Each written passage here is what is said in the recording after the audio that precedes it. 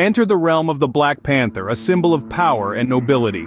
Originating from the heart of Africa, the Black Panther isn't just any big cat, they're actually leopards and jaguars sporting sleek black coats a result of melanism, a unique genetic variation. Known for their strength and agility, they are solitary hunters, ruling their territories with a fierce command. Their keen senses and stealthy approach make them formidable predators in the wild. Interestingly, Black Panthers also hold a prominent place in various cultures and mythologies, often revered as guardians and symbols of courage. From the dense rainforests to the silver screen, the Black Panther continues to captivate and inspire.